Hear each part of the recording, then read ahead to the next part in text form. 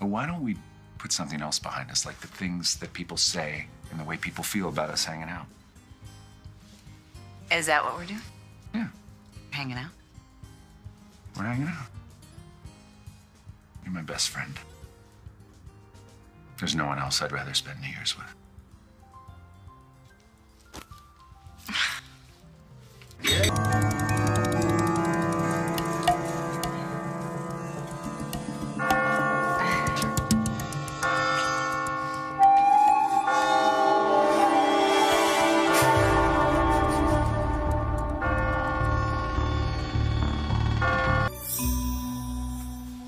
Never miss a trick, do you, Nicole? Kristen.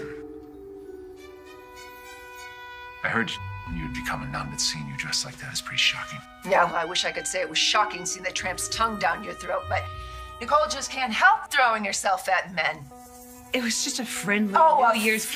friendly I New Year's kiss, huh? I'm sure you would love for Brady to think that. But I know exactly how you operate. I don't know. Don't what- even, don't even. I saw you pounce on him the other night. And neither move was innocent. You are still the same pathetic, desperate slut you've always been.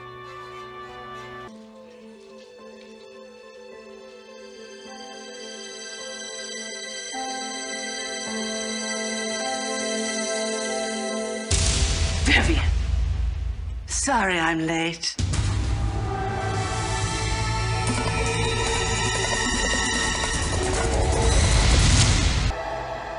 Wow. For a nun, you have one hell of a potty mouth. Yeah, well, I'm just speaking the truth. Have you been following us, Kristen? How long have you been back in Salem? Long enough to know that you've screwed up your relationship with Eric yet again, and you bounce back to his brother Enough, again. Oh, enough. Oh, come on, Brady. Aren't you sick of the same routine?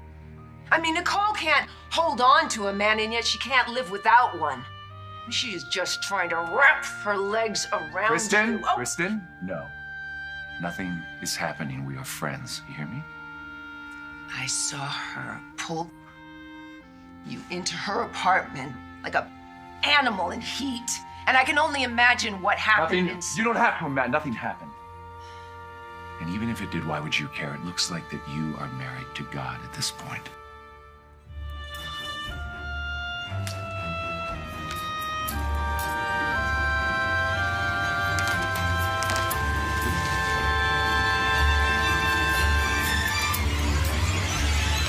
Let's just say we broke up.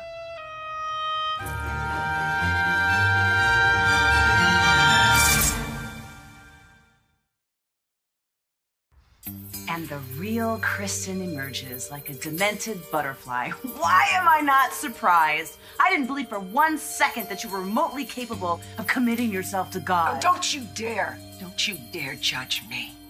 I have devoted my heart and soul to a prayerful life to atone for my sins. Oh, you mean like killing an innocent nurse? Oh my God, I never, I never meant to hurt that poor woman. I- And I am so sorry for what happened. JJ loved her, you know. He has been a wreck without her. Yeah, well, I have been destroyed since we lost our child, Brady. And I stood by you. I know that. I know you did. Please. I just, I feared that that you were only doing it out of obligation. Not true love, Why? Brady. Why wouldn't you say that to me? Why wouldn't you talk to me about that? Then? Because uh, I, I, I didn't see the point because after our child died, I was convinced that it could never be the same between us. That, that any hope of happiness, any any any future with us, it, it was gone. Mean, please. So, so you just you just left without saying goodbye? That was your answer? Don't you see? I was in so much pain. And I needed, I needed to start over somewhere far away from here.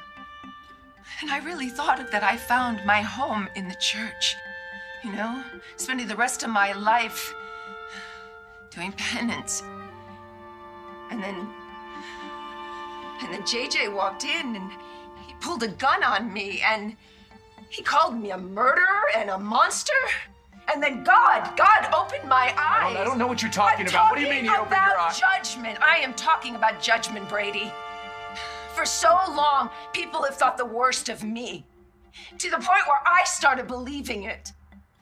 And in that moment, that moment, being belittled and shamed by JJ and told that I was unworthy to continue to live, I mean, oh, something just switched inside of me. And I knew that I didn't need to take it anymore. And I know in my heart I am right with God and that His opinion is the only one that counts. So no one, no one will judge me ever again. Do you hear that? And even Eli, Eli shouldn't judge Lani either. She left him at the altar. Oh, but there's more to the story than that. Okay, you know what? Whatever. Kristen. You know what? Right there. God, I mean, you're judging me again. Look at you. You know, all of you just spitting scorn on Lani and me. You know what the truth is? This town, Salem, it's all filled with a bunch of hypocrites who have done far worse than what we have done. You know, and instead of cloistering myself in a convent for the rest of my life, I came back to take what's rightfully mine, and that is you, Brady. I still love you. I still want you, so just kick this, oh, this whore to the curb and come back to me.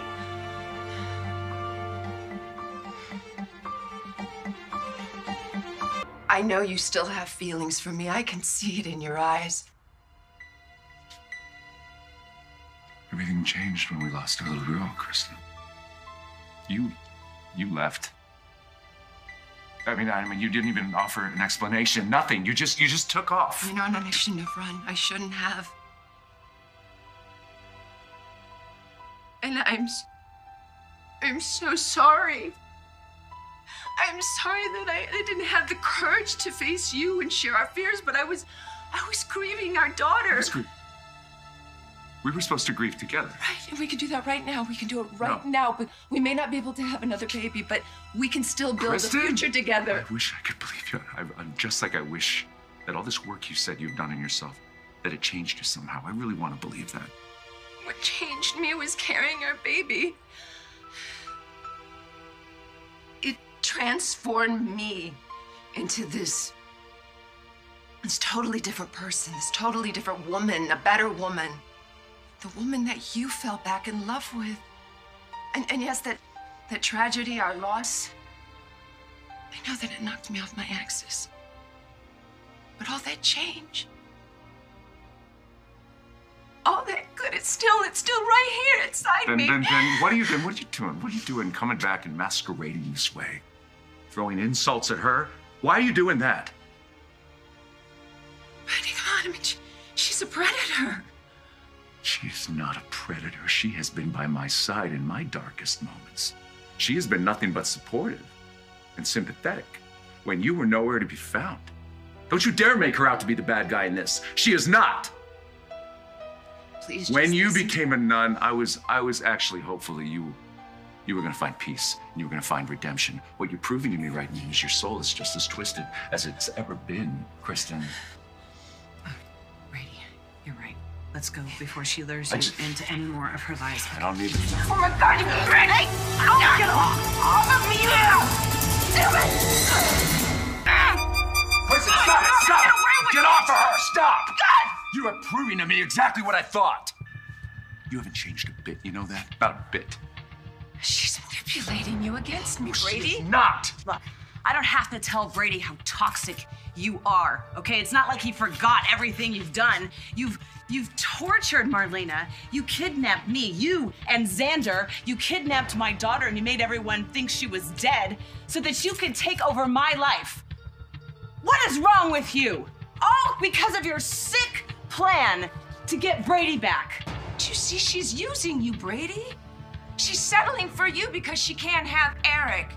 And when Eric gives her another chance, she's gonna dump you to the side. Oh, please. Oh, don't even. I mean, she doesn't love you. She doesn't want you, but I do, Brady. I do.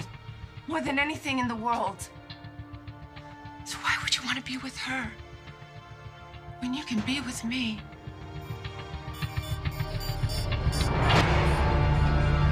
This was supposed to be our night, Brady. I know that. No, it was. And I and I I wore this dress. And you promised me that we would ring in the new year together. So please, please, please, we can do that. Just you and me right we now. can't do it. Because I can't let you back into my life knowing what you're capable of. I know too much, Kristen. You need to leave town. You need to go back to Italy. You leave her alone. You leave me alone. You hear me?